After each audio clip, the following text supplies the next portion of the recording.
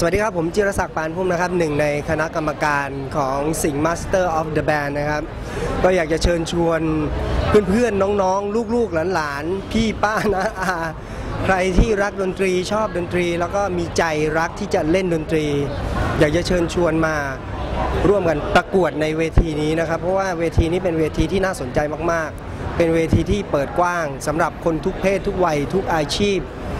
ทุกแนวทุกสไตล์นะครับ แล้วก็ ไม่ว่าคุณจะเล่นเครื่องดนตรีอะไร คุณจะนำ iPad iPhone หรือว่า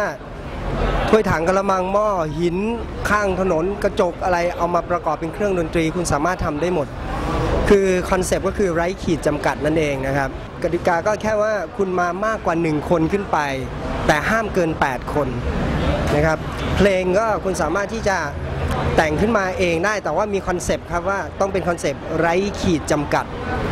นะครับมีเพลงอีกหนึ่งเพลงที่คุณจะต้องเรียบเรียงใหม่เป็นเพลงของสหภาพดนตรี ซึ่งรายละเอียดตรงนั้นเนี่ยก็คงจะติดตามกันได้ในในในข้อมูลของเว็บไซต์ ก็อยากจะเชิญชวนนะครับ เวทีนี้เป็นเวทีที่เปิดกว้างสำหรับคนดนตรีทุกๆคนไร้ขีดจำกัดกับสิงห์ Master of the Band ครับพูดถึงคำว่าไร้ขีดจำกัดสำหรับการประกวดครั้งนี้นะครับ ก็น่าจะเป็น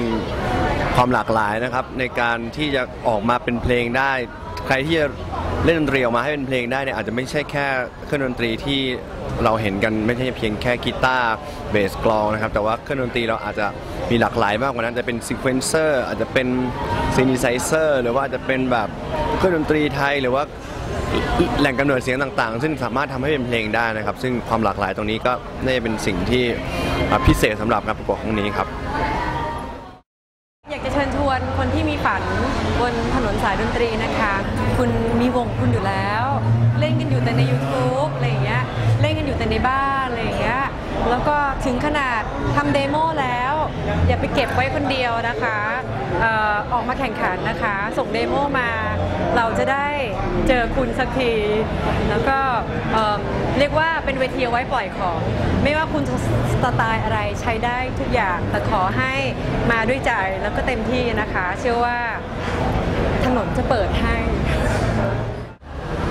ครับสำหรับความพิเศษของการประกวดดนตรีในครั้งนี้นะครับสิงห์ Master of the Band ครั้งนี้นะผมคิดว่าเป็นเรื่องของคอนเซปต์แล้วก็เรื่องของรางวัลด้วยนะครับเรื่องของคอนเซปต์ก็คือว่าคอนเซปต์ก็คือไร้ขีดจำกัดก็คือทำอะไรก็ได้นะครับ เพราะฉะนั้นเนี่ยผู้ประกวดแต่ละวงเนี่ยสามารถที่จะทำอะไรที่ตัวเองถนัด แล้วก็ ไม่มีข้อผูกมัดอะไรมาผูกผูกมัดเลย เพราะฉะนั้นเนี่ยเราสามารถที่จะ present ตัวเองในแบบของตัวเองที่ตัวเองอยากจะเป็นได้เต็มที่เลยนะฮะวงที่ชนะจะได้รางวัลทั้งหมด 1 ล้านบาท ซึ่งเป็นเงินที่เยอะมากเลยนะฮะแล้วก็ผมคิดว่าเยอะที่สุดตั้งแต่เคย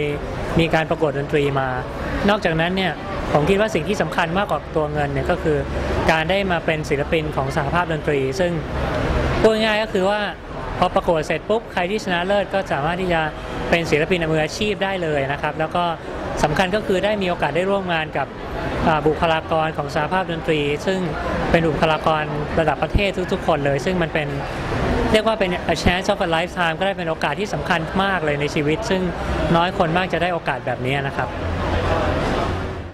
สิงห์ Master of the Band นะครับ งานประกวดดนตรี